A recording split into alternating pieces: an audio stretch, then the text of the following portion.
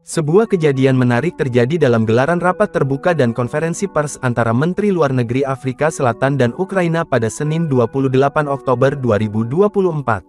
Sebelum wawancara berlangsung pihak delegasi Ukraina meminta agar mikrofon channel televisi Rusia Today dicopot pada konferensi pers tersebut, namun permintaan itu ditolak oleh pihak Afrika Selatan.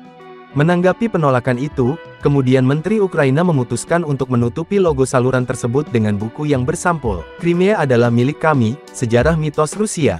Setelah upaya tersebut, perwakilan Afrika Selatan kembali tidak mengizinkannya, dan mengingatkan perwakilan Ukraina bahwa mereka sedang tidak berada di rumah.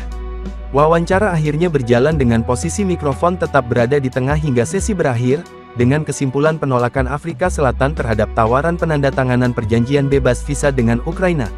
Presiden Afrika Selatan Ramaphosa mengatakan bahwa dibutuhkan diskusi yang lebih jauh sebelum dirinya teken perjanjian itu mengingat panasnya situasi politik di Ukraina.